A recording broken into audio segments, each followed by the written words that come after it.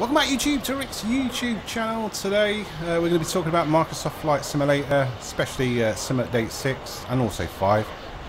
But another known bug is when you fly at night time you can see the city lights appearing in the air 5 600 feet above. I'm in the Eurofighter, I've just paused it. I've just taken off from Manchester Airport. Uh, it doesn't want to unpause now. What is up with this game?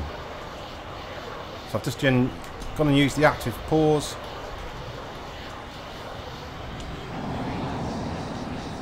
Still control the aircraft. Try it again. Doesn't want to unpause. But you can see, if I just look around, you can see the city up in the sky. You can see Manchester's uh, lights up in the air at least a thousand feet up. It really is an absolute glitch where you can't fly during the evening or at night. Now I think Sim Update 5 and also 6, let's just try and uh,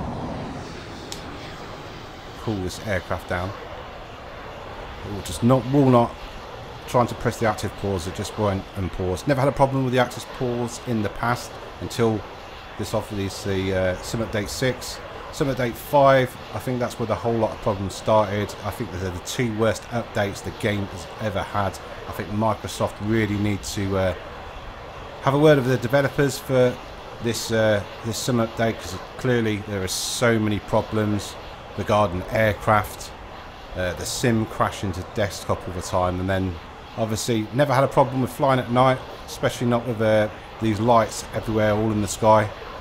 It's uh, super glitchy now, and uh, it's almost like Cyberpunk.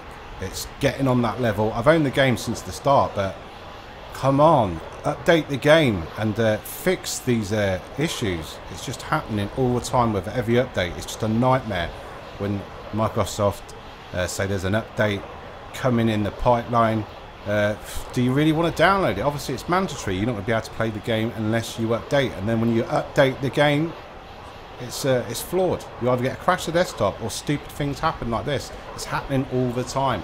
Let me know in the comment section below if you'll be able to fly or if you can uh, fly at night without the uh, the city lights appearing a thousand foot up in the air. Or is it affecting everyone? Just doesn't look good. It's unplayable. You cannot play it uh, playing at night. So uh, yeah. If you are having this problem, play during daylight hours. Just uh, reset the time back to uh, a daylight hour. Yeah, let, me know in the comments section below if you're having the same problem. Also, I make uh, Microsoft Flight Simulator tutorials, so uh, really helps the channel out if you give the video a like. Also, subscribe, and I'll get back to you with uh, another glitch or another flaw in the Sim Update 6 for Microsoft Flight Simulator 220. Thanks for watching.